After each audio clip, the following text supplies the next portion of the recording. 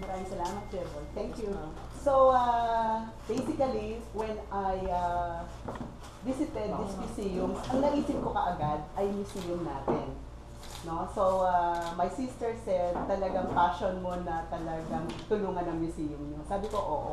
And then, uh, there was a time na nagkaroon ng shutdown sa US, di ba? Then, that, during that time, all the museums were closed. I was really hoping na makakita ako kahit isa, makapasok ako sa kahit isa.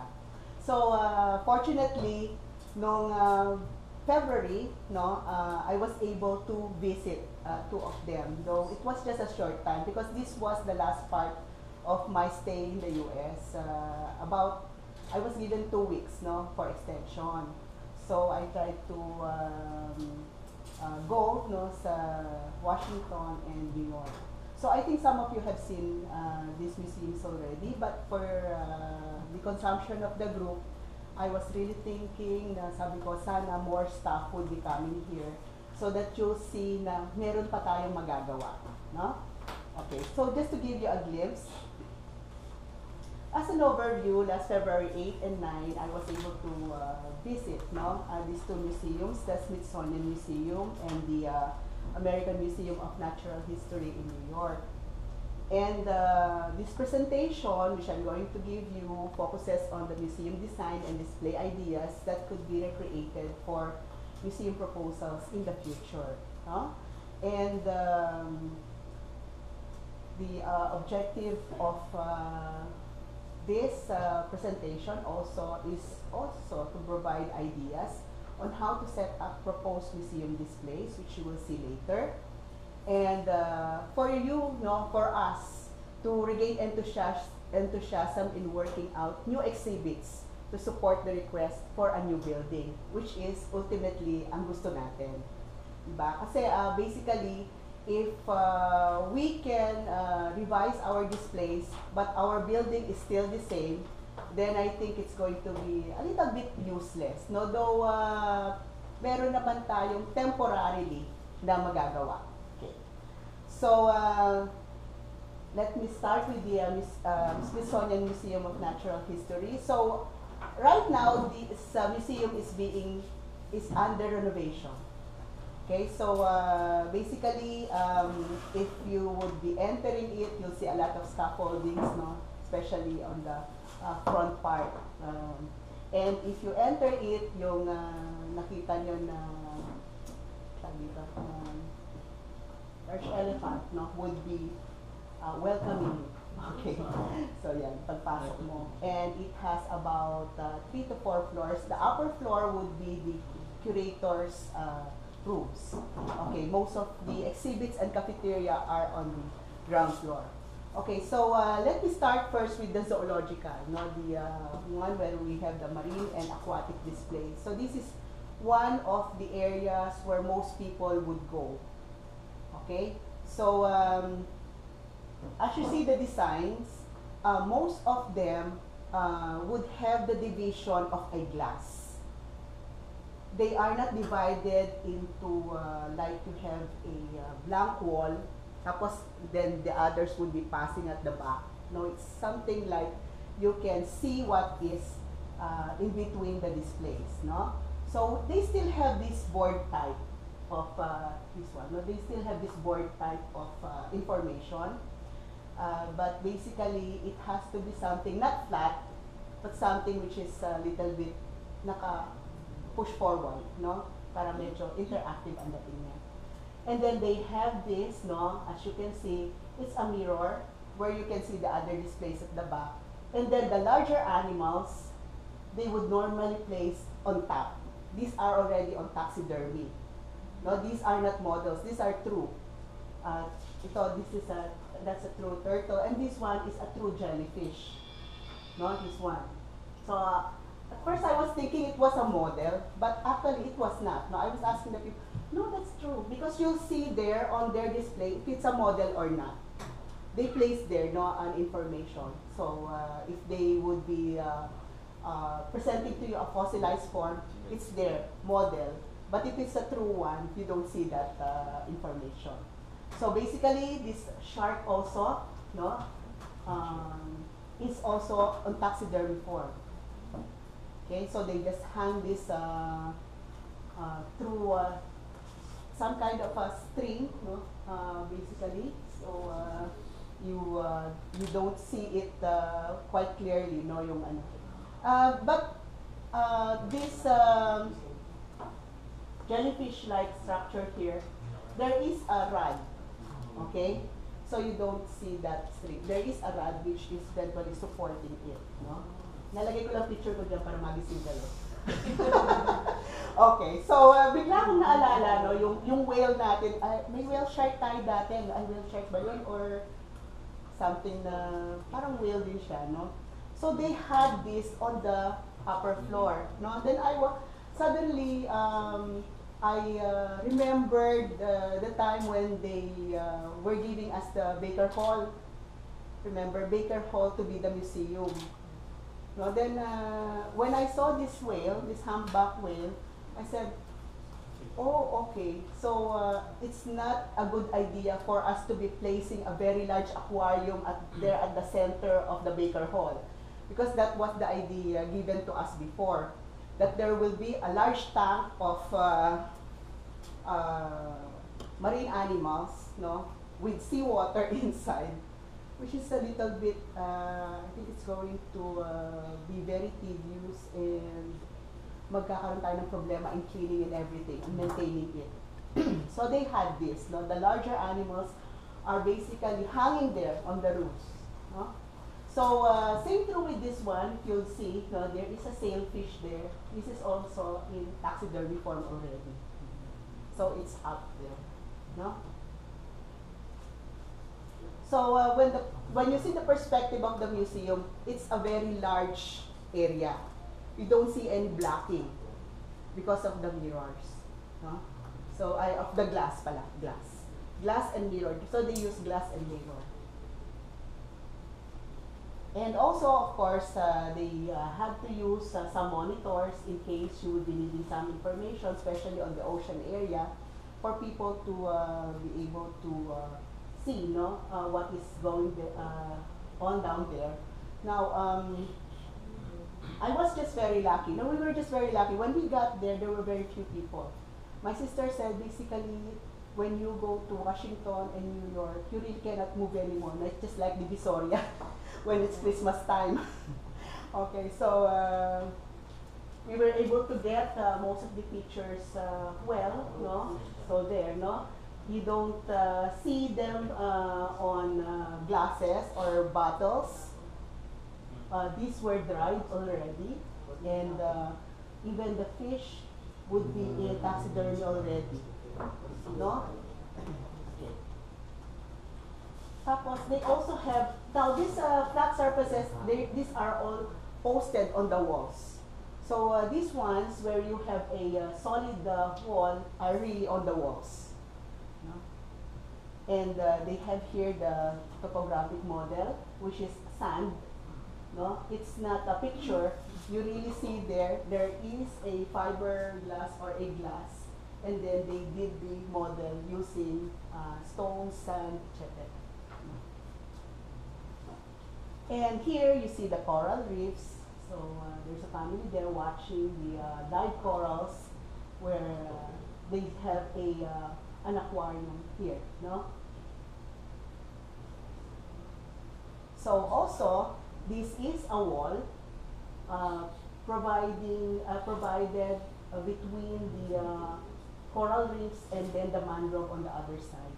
So they had a glass wall, and then they have the uh, taxidermy bird here, and then the uh, fish, no? Tapos ito na sa mangrove, no? On the mangrove, you'll see this information. Okay? And uh, basically, these are the walls already. So they also have this, know, yung bird. Uh, uh, there is, uh, I remember the water which, which we did with resin. So same true, they also use resin, no, as uh, parang water. Tapos i-embed nila yung mga uh, grasses and uh, the other uh, materials like sand and stones, etc. No? Okay, so here you'll see the combination of old uh, museum collections, museum displays, incorporating new ones. So this is an old picture that they had and also this one. And, uh, but they placed here, no, uh, something which is not flat. Uh, ito yung ano ng turtle, ano, parang taxidermy na siguro ano nito, no? Plus this fish, wala siya sa tubig, no? It's uh, dry. Pati itong sa Arctic, when you go there, actually there is also a canoe, no, uh, on the on the other side, which was used by the uh, um, indigenous people of uh, the Arctic area. So uh, we have here a taxidermy of a polar bear, no? So, there. And uh, this is the other side, no? Tapos meron din silang ideas for the smaller, smaller um, displays, no? They they have a magnifying glass. O nga naman, no? Kasi paano mo ma-appreciate yung uh, bit nito, no? If you don't see it. Na napakaliit ganyan lang talaga siya. No? So, nilalagyan talaga nila ng uh, magnifying glass.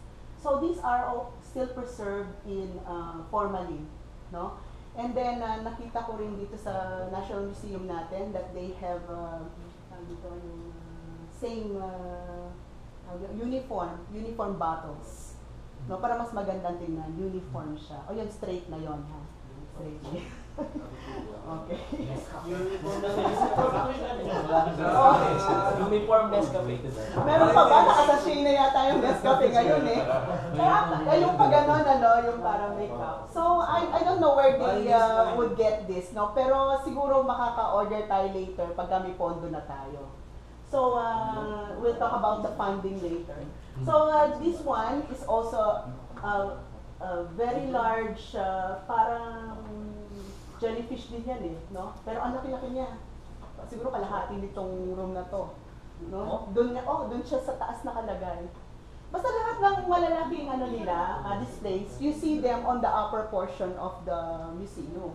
No, you, you, don't, you don't see them inside or on, on uh, lower grounds, no? Okay, so these are very, uh, actually this one, no, itong mga, like this alder, alder fish. Akala ko naman, when I see it on books, it's a big one. Ganyan lang pala siya kaliit. Tapos meron siyang ilaw. So these are the ones you see on the deep uh, parts of the sea, no? Yung may mga ilaw. These are the glow in the dark. Ito naman kasi, yung mata niya ang nag-glow, no? Mm-mm, dun sa may lower part. Also this, no? Itong mga squid. So they are also glowing, no? Glowing in the dark, yung mga yan. Ibote ako niya na. Bote ka niyan? O, padamihin natin. Sa Venus Flower Basket natin na yun. Ay, ganun? Okay, so uh, th- the small ones uh, which they would like to uh, emphasize, like the teeth of this uh, largemouth fish, not teeth-like uh, structures, they would enlarge in pictures for people to appreciate, no?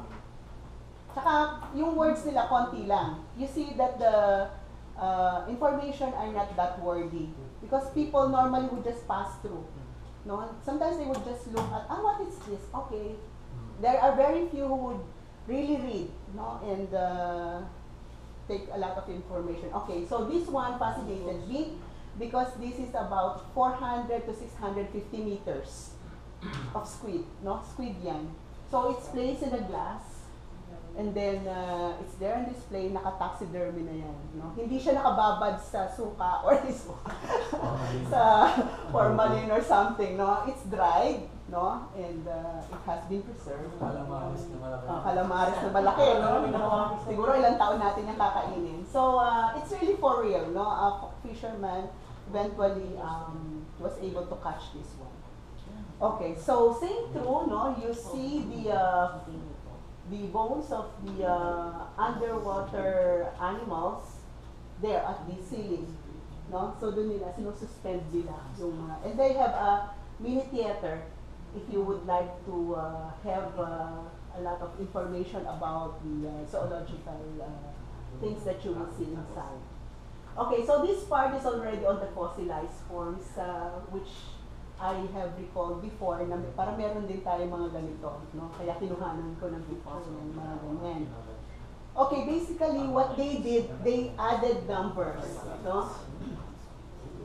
So pag makita mo yung display, it's a combination of uh, the uh, illustrations, no, which you have here, illustrations, and then you have the uh, uh, form, no, uh, a 3D form uh, or a live form, and then you have the picture, which is here. So it's a combination. It's not just something flat, no? Parang ganon, na makita mo. Na pag dinaanan mo, ah, okay na. It's something like, once you see it, then you go back. You would always want to go back. So that's the idea, no? Uh, display wherein you don't just uh, see it in one passing, you would always want to go back and look at it. Now, if there are several uh, uh, information, like what we have here for the trilobites, this is if you would see these trilobites, it's a really big cabinet, no, where you only see trilobites. And then uh, you see it from Asia to uh, the African, no? And these are not models. These are true. Okay. So uh, another thing that they do for this uh, la- uh, large number of, uh, of things, they would add numbers. Okay, so that the information sometimes you just read in front of you like that. Then you just see the number. So yung ganun ginagawa nila. But uh, basically, on the information, you have there the scientific name and where it came from. No? Kung saan mo siya makita. So, from Morocco. Ayun. okay, so ito, large teeth yan, no? Now, ako yung Now, uh, they also had there a portion which is uh, eventually like a wall where they gathered all the trash on in the uh, ocean, and then they did made an artwork out of it. So it is a very long uh, display, no, where you have there several. Uh, if you would look closer, you'll see that these are bottle caps. Yung nasa likod ng turtle, and then yung mga plastics, etc. No? And then yung mga uh, tawag ito, water bottle, tsaka yung pinag-anuhan ng soft drinks, yung mga ganon. So, uh, they did artworks. This is also an artwork, no, of uh, those uh, things that are being thrown in the ocean.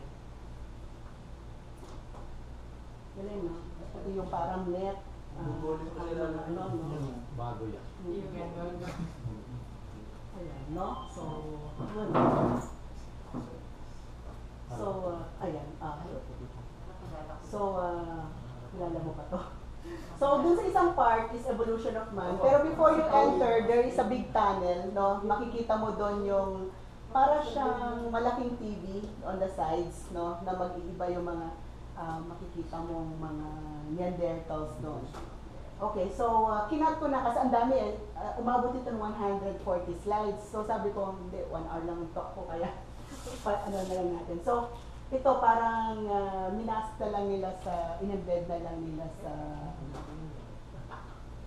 sa plaster of Paris. something. And then they also had this very big bison, no, uh, which uh, is uh, on taxidermy. This is on the Smithsonian Museum of Natural History. It's another story when you go to the American Museum of Natural History. Uh, ma- you will be amazed with the diorama. Itong mga to kasi, technically, parang yung sa atin din. No? Parang, parang sa atin lang din kung paano natin ginawa yung display. But uh, they have the uh, uh, young form also, no? And they try to make it in such a way that there is interaction with the other animals. So pinagsama-sama nila. Para yung diorama natin dyan, na kita naman natin na, ano, na kung paano pagsama-samahin yung mga animals and are in a dynamic way of, uh, these are uh, the prey, no? Yung uh, sa beast, ng ano. So makita mo dyan yung uh, attack nila doon sa malaking uh, parang carabou ba ito? Yung parang ganun. So these are lions and they are eventually feeding on the moon. Okay, so now we go to the entomological display, no? So the entomological display unfortunately has very few people. Fewer than what you have there on the zoological, no? Uh, and uh, uh, eventually you'll see this on the as, as a welcoming uh, thing, no? And they would uh, provide you information on about botany, entomology, and then uh, let you see the display. So this is basically what they have no, as you enter. And now on the right side, there is this tunnel where you have the uh, butterfly garden, but it you have to pay. So that's what they have there, which are you have live butterflies, of course, and then the host plants, and then you have their um, displays of uh, the egg, larva, and pupa, no? So yung mga ganon. Hindi na pumasok, wala akong pambayad eh. Hindi. so uh, basically, they have this, no, parang uh, welcoming the uh, people for the entomological uh, displays. Okay, so what is in, no, is the insect zoo, which I think we have already started, no? So how do we make our insect zoo? Uh, just like us, they have uh, very few funding for entomological displays. So they asked the Orkin um, group to fund this whole section of entomological display. Okay, so uh, lahat ito was funded by the Orkin group. So uh, as you enter, you'll see there the mangrove, and then you'll see some insects, no, uh, um, eh, on the uh, trunks, on the leaves, etc. Just like what we had here, you know? But basically, uh, they also have some insects inside those globes. Dito. Yan. So uh, you'll see some kids, no, looking at, oh, what can you see down there, no, uh, something which is feeding on the roots, mga ganon ganon. May live po, ma'am. Ano no? May live insects. Live, oo. So, yun ang ano nila ngayon, yun na ang kanilang, ah, parang nagpo-focus sila. So, uh, the display is not that big, just like what we have here, wherein you have pin specimens. You'll see there's some tanks, something like this, for the aquatic forms. There is a tank, and then you see jerrys, you see some uh, belostomatids, no, uh, swimming about, and they give the, them uh, prey or something, especially the predatory ones. So the maintenance is every day. Yan ang ano nila, no? So uh, basically, even for the terrestrial, you have life forms there, no? You have information, but you have life forms inside. So people would stay longer because they would look for the animals inside, no? And this is how they presented the mouth parts. Okay? The mouth parts of the insects. Ito, no? Kin- I tried to get a close-up. Redoviid yung ano nila dito. So, uh, you'll see them, no? Um,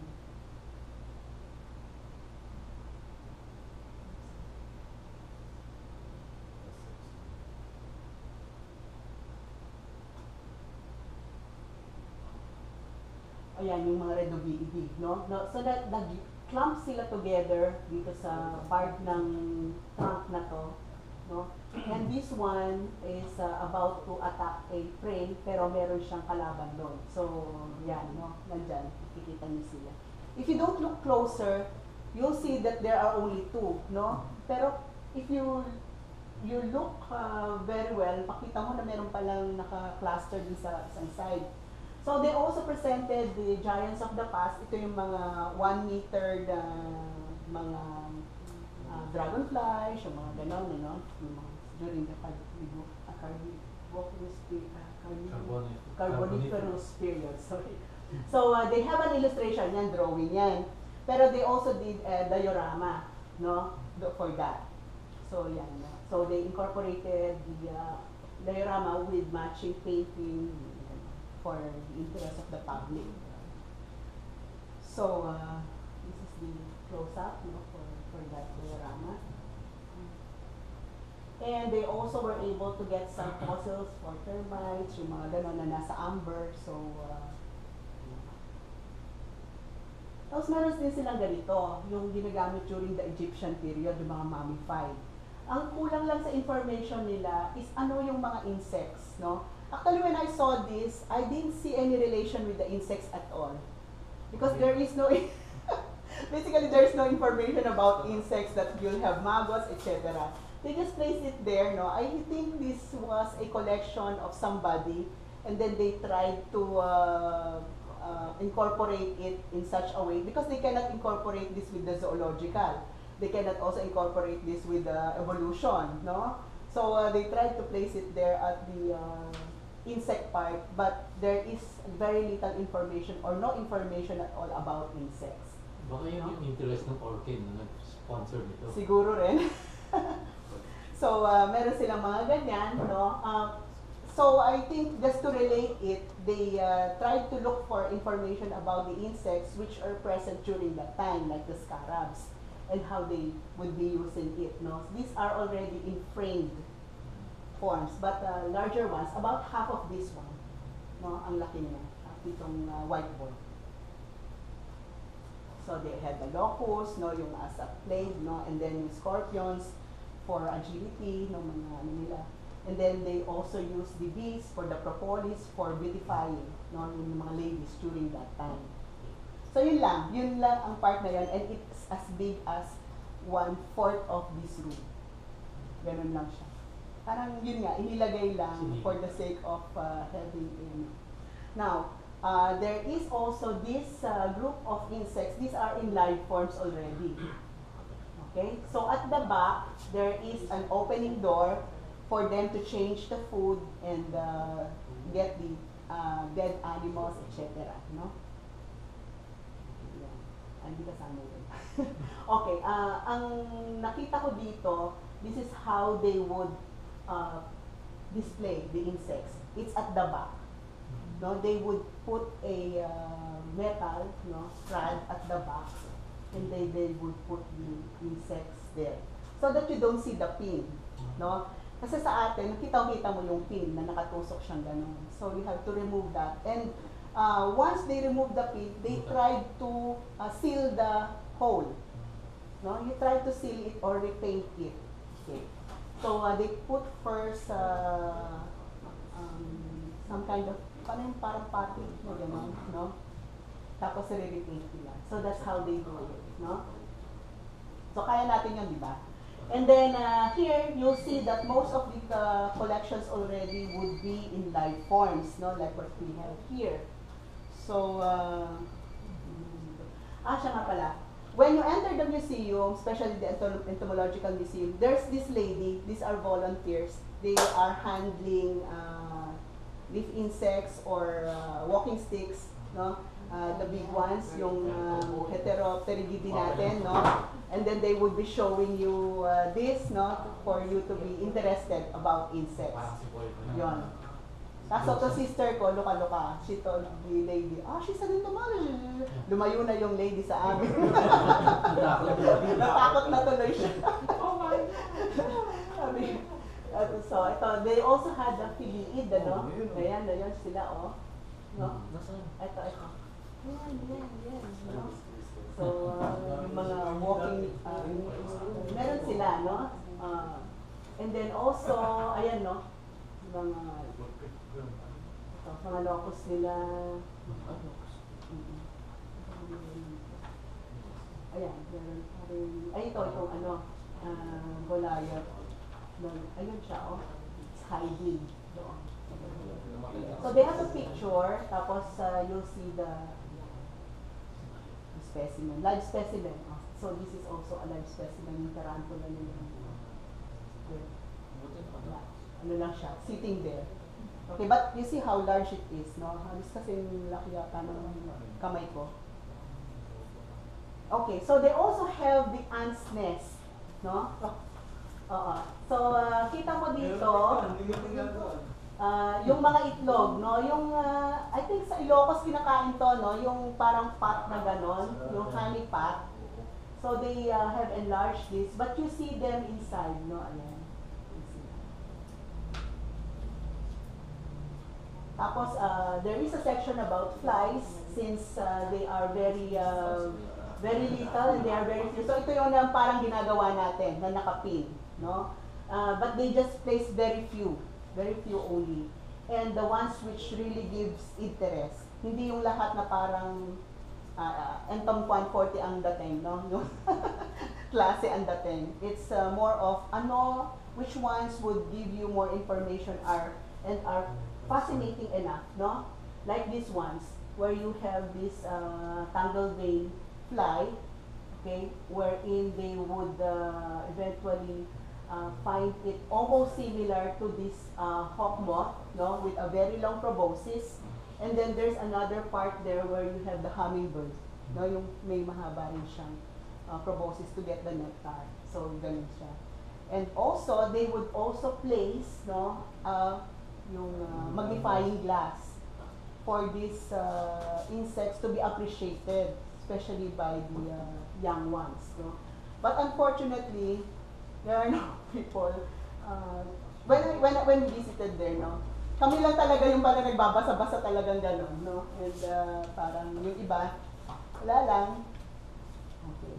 So, uh, also, what's fascinating about this uh, museum, no, they, there is a playground inside for the kids to appreciate insects. So, meron doon yung uh, parang hive, no, and when you enter, you'll see a lot of uh, things about uh, insects. And there is this termitaria, where kids can uh, go inside, no, and uh, try to play in hide and seek, etc. No? So parang pumasok ka sa punso. Yun ang ano nila, no? Idea nila about this. So uh, uh, there are still other uh, displays uh, on the lower lower ground, no? Uh, but basically zoological entomological lang yun. Now we went to uh, to New York and uh, and try to visit the American Museum of Natural History. So ito naman, if you watch the Night at the Museum, no? So you'll have this very large bone of the T-Rex, uh, which is going to welcome you. Doon sa Smithsonian, it's the large elephant, no? Ito naman siya ang ano, ito yung di ba yung nabuhay na naglalaro nung bone yung hinahalisan. Okay.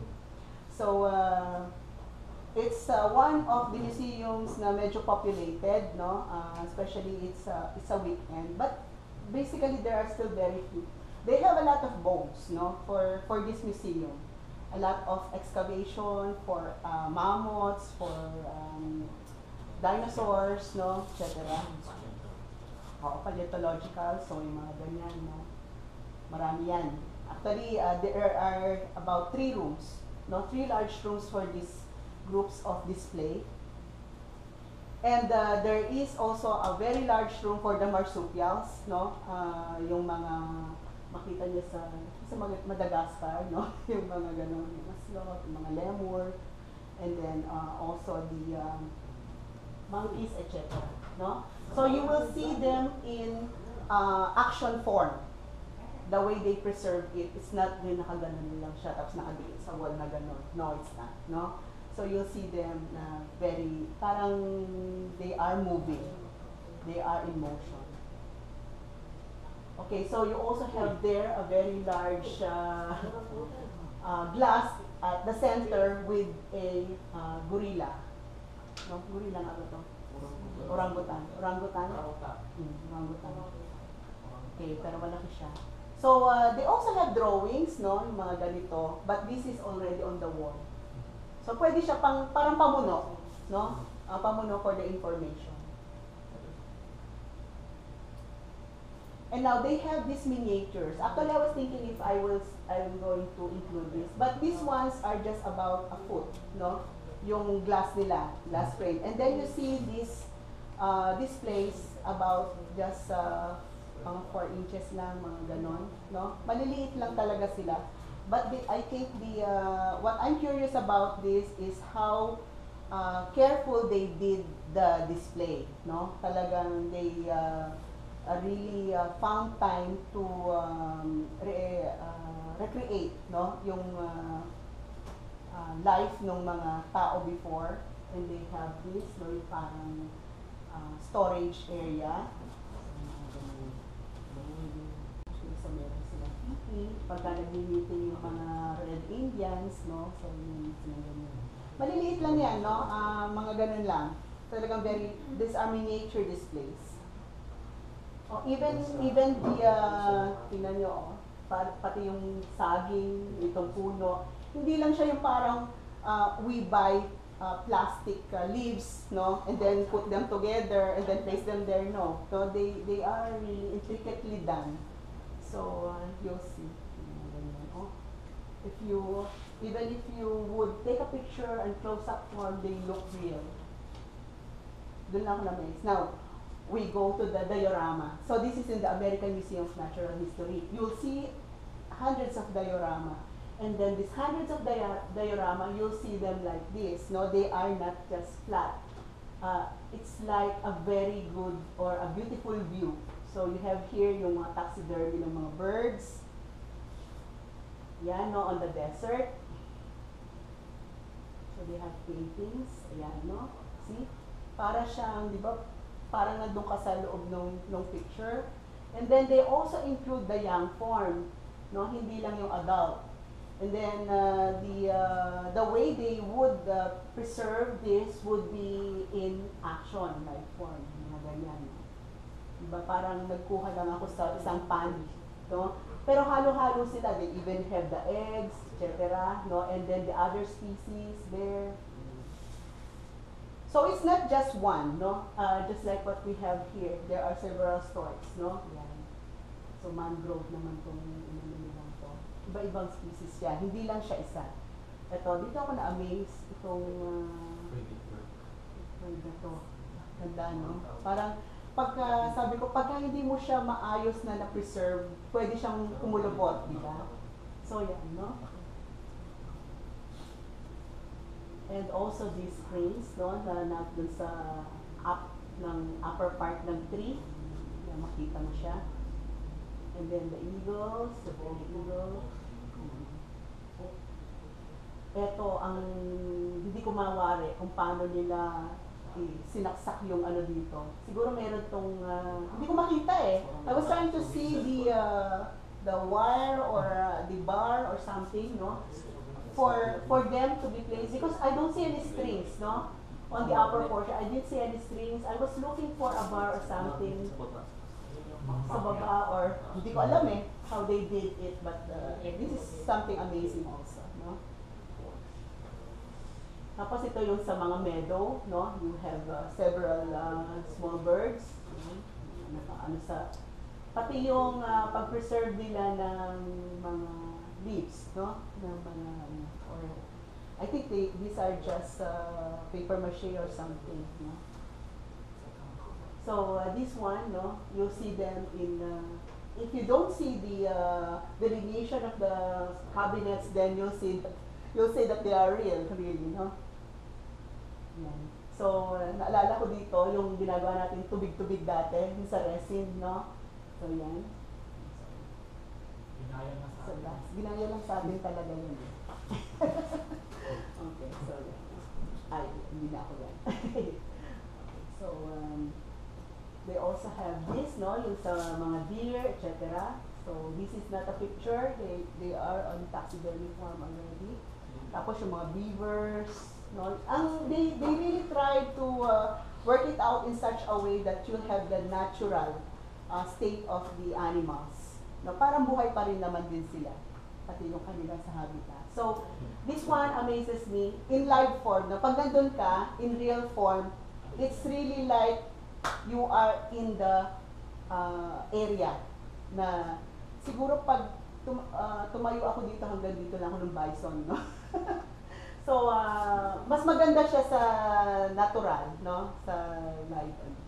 Uh, makikita mo talaga yung view, tapos yung how real they are. So, no? So, they also have the moose, etc. So uh, these are uh, actually uh, contained on on the upper portion tapos you'll see them on the walls of the full museum. So ang ganda, magandang makita. So um, that ends the picture. So for the recommendations and suggestions, so we can rearrange and uh, curate our displays to figures in motion, no?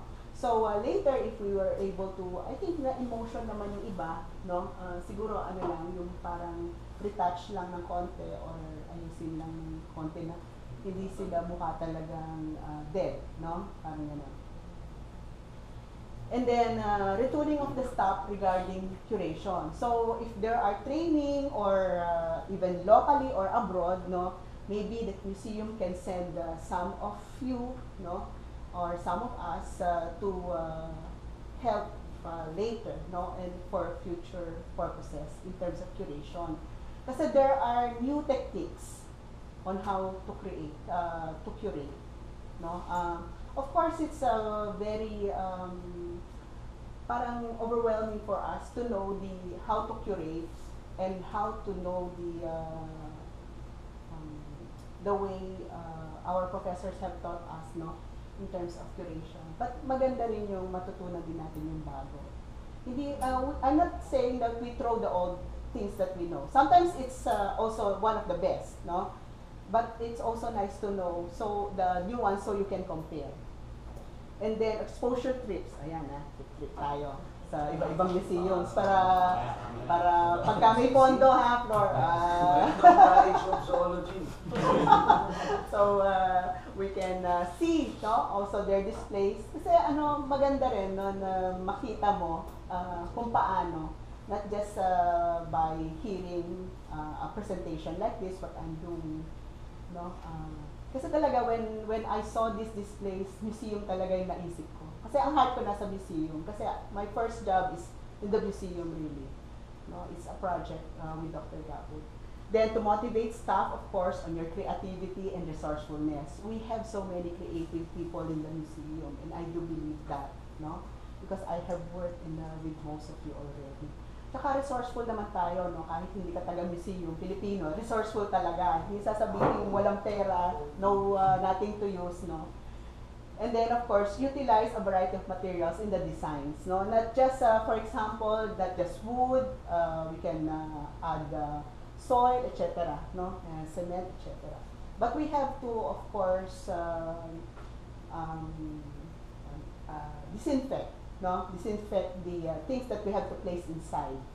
Kasi uh, baka imbes na makatulong, lalo pang makasira. No, baka may anay o di naubos yung ating mga display or yung ating mga frames. So of course, a proposal for a new building, no? Uh, proposal for a new building is really a must.